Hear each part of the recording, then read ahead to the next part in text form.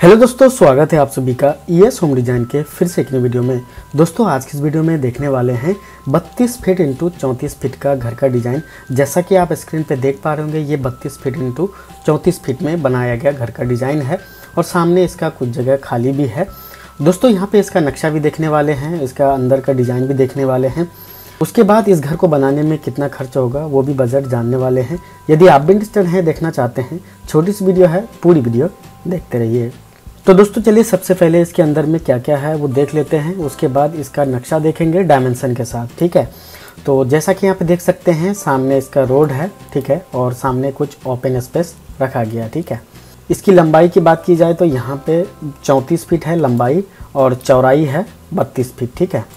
और यहाँ पे देख सकते हैं, सामने 20 फीट जगह यहाँ पे खाली रखा गया है ठीक है? उसके बाद दोस्तों यहाँ पे देख लीजिए सामने इस तरह से इसका डिज़ाइन हो जाएगा, जैसा कि आपने थ्री में देखा। और यहाँ पे देख लीजिए, सामने इधर से एंट्री दिया गया है, ठीक है, यहाँ पे सामने बरामदा है। और ये वाला देख सकते हैं यहाँ पे, सीढ़ी के नीचे जगह है तो यहाँ पे सीढ़ी के नीचे बाइक वगैरह भी लगा सकते हैं और इधर से ही फ़र्स्ट फ्लोर पे जा सकते हैं और इधर से घर के अंदर भी जा सकते हैं। तो चलिए इसके अंदर में देखते हैं। उससे पहले यहाँ पे इसका छत में देख लीजिए कि साफ्ट वगैरह दिया गया है, ठीक है? साइड से इसका कुछ भी जगह नहीं छोड़ा गया, जैसा कि आप देख सकते हैं। दोस्तों, इसके लिए यहाँ पे वेंटिलेशन के लिए यहाँ पे साफ्ट दिया गया है। देख सकते हैं, इस तरह से यहाँ पे साफ्ट है, ठीक है? इधर से ही यहाँ पे वेंटिलेशन होगा। देख सकते हैं, यहाँ पे विंडो वगैरह अंदर का यहाँ पे दिख रहा है, ठीक है? और यहाँ पे किचन का विंडो है। और इस साइड में यहाँ पे देखें तो इधर भी एक साफ्ट दिया गया है। तो चलिए इसका अंदर में चल के देखते हैं क्या क्या है। तो दोस्तों, यहाँ पे देख सकते हैं, सामने का छत वगैरह हटा दिए हैं तो इससे यहाँ पे आपको सब कुछ अंदर का दिखेगा, ठीक है?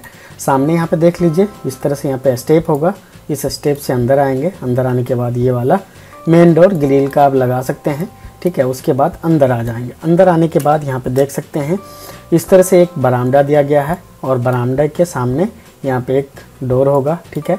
इधर से अंदर आ जाएँगे, ठीक है? अंदर आने के बाद यहाँ पे देख सकते हैं आप एक डाइनिंग हॉल मिल जाता है। ठीक है, इस तरह से यहाँ पे डाइनिंग हॉल है। डाइनिंग हॉल के सामने एक किचन दिया गया है।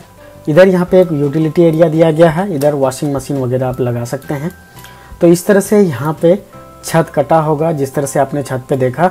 और इधर से जो लाइट हवा आएगी, इससे वेंटिलेशन हो पाएगा किचन के लिए भी और इस बेडरूम के लिए भी। ठीक है, उसके बाद दोस्तों यहाँ पे देख सकते हैं, इसके साइड में और एक बेडरूम दिया गया है और इसके साइड में यहाँ पे और एक बेडरूम दिया गया है। ठीक है उसके बाद यहाँ पे ये वाला भी साफ्ट हो जाता है और सामने यहाँ पे टॉयलेट कंबाइन बाथरूम हो जाता है, ठीक है? तो चलिए अब यहाँ पे इसका सीढ़ी देख लेते हैं कि सीढ़ी किस तरह से यहाँ पे दिया गया है। तो चलिए यहाँ पे इस गेट को सबसे पहले हटा देते हैं। हटाने के बाद यहाँ पे देख लीजिए, इस तरह से अंदर आए। अंदर आने के बाद यहाँ पे इधर से जब सीढ़ी पे चढ़ेंगे तो देख सकते हैं इस साइड से सीढ़ी पे चढ़ रहे हैं। कहाँ तक? यहाँ तक, ठीक है? और ये वाला नीचे जगह यहाँ पे खाली मिलेगा तो इधर बाइक खड़ी कर सकते हैं। उसके बाद दोस्तों यहाँ पे देख लीजिए कि इधर से आने के बाद इधर से भी ये वाला डोर से अंदर जा सकते हैं। यहाँ पे देख सकते हैं, ये वाला यहाँ पे डोर दिया गया है तो इधर से भी घर के अंदर जा सकते हैं। उसके बाद यहाँ पे सीढ़ी पे चढ़ के यदि फ़र्स्ट फ्लोर पे जाना है तो इधर से ऐसे करके फ़र्स्ट फ्लोर पे चले जाएँगे। तो इस तरह से ये चार बेडरूम का यहाँ पे डिज़ाइन बनाया गया है। आपने देख ही लिया, पीछे तीन बेडरूम है, यहाँ पे एक बेडरूम है और ये वाला बरामदा है। ठीक है? तो दोस्तों, इस तरह से आपने देखा कैसा है डिज़ाइन। आप मुझे कमेंट में ज़रूर बताइएगा। उसके बाद दोस्तों, यहाँ पे देख सकते हैं, सामने इस तरह से ओपन स्पेस है। तो इधर बाउंड्री वॉल देंगे यहाँ पे, ठीक है?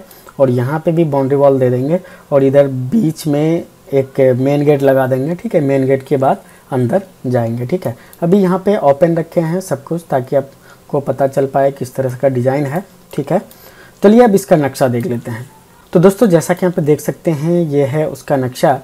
सबसे पहले यहाँ पे बात कर लेते हैं कि ये जो नक्शा बना हुआ है, कौन सा फेसिंग है, यहाँ पे देख लीजिए नॉर्थ फेसिंग है, इधर ही इसका रोड है, जैसा कि आपने थ्री में देखा, और ये ग्राउंड फ्लोर का नक्शा है, ठीक है? दोस्तों, यहाँ पे देख सकते हैं, सामने 20 फीट का यहाँ पे जगह रखा गया है ओपन ठीक है? उसके बाद यहाँ पे इस तरह से इधर से अंदर आते हैं, ठीक है? अंदर आने के लिए यहाँ पे तीन फीट छः इंच का यहाँ पे छत आगे बढ़ाएँगे, ठीक है? जैसा कि आपने थ्री डिज़ाइन में सामने में देखा किस तरह का डिज़ाइन था, उस डिज़ाइन को बनाने के लिए यहाँ सबसे पहले साढ़े तीन से चार फीट यहाँ पे छत बढ़ाएँगे और इस साइड भी साढ़े तीन से चार फीट यहाँ पे बढ़ाएँगे इस रूम के सामने, ठीक है? और सीढ़ी के सामने में छत यहाँ पे नहीं निकालेंगे, ठीक है? और उसके बाद सीढ़ी के नीचे गेट लग जाएगा, जैसा कि आपने देखा था। और यहाँ पे आप देख सकते हैं, इधर से चार फीट का यहाँ पे डोर हो जाएगा। चार फीट का डोर के बाद अंदर आते हैं। अंदर आने के बाद ग्यारह बाई आठ का एक बरामदा दिया गया, ठीक है?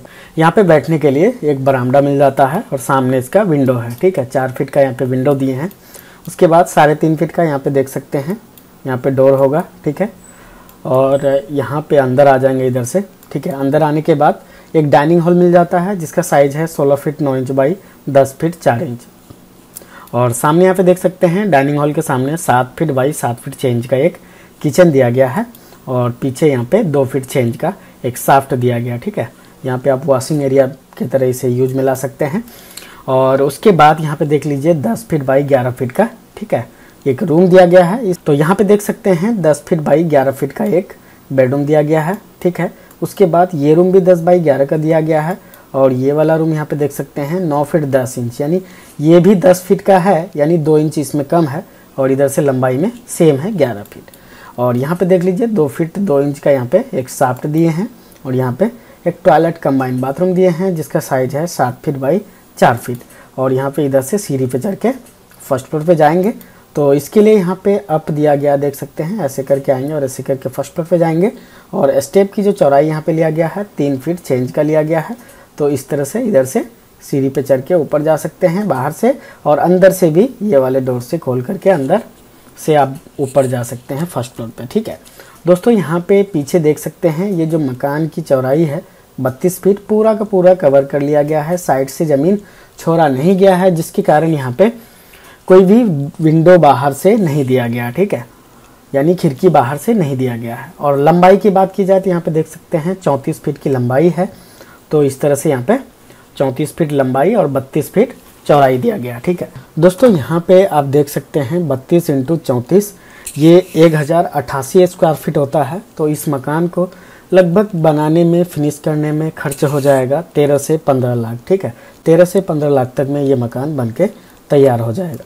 तो दोस्तों, आपने देखा डिज़ाइन कैसा लगा? आप कमेंट में ज़रूर बताइएगा। यदि आप भी मेरे से नक्शा बनवाना चाहते हैं तो दिए गए नंबर पर आप कॉन्टैक्ट कर सकते हैं और मेरे से नक्शा बनवा सकते हैं। तो चलिए फिर मिलते हैं और नई वीडियो के साथ। तब तक के लिए बाय बाय टेक केयर।